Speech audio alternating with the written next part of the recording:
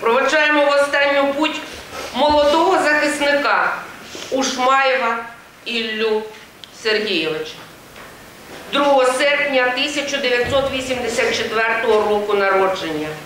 Але все своє життя, дитинство провів у місті Вільнянськ. Останнім місцем роботи було товариство з обмеженою відповідальністю «Водбуд», де Ілля працював слюсарем-ремонтником. Благословен Бог нас завжди нині повсякчас і на віки віки. Ілля пішов добровольцем у Збройні Сили України 9 травня 2022 року.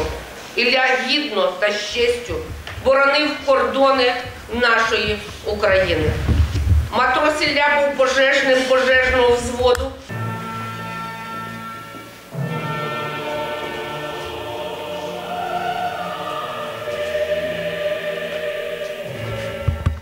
Проходив військову службу у 38-му у 38-й бригаді морської піхоти. Зі слів командира підрозділу, він був дуже мотивований, мав розумну ініціативу, завжди брав все в свої руки.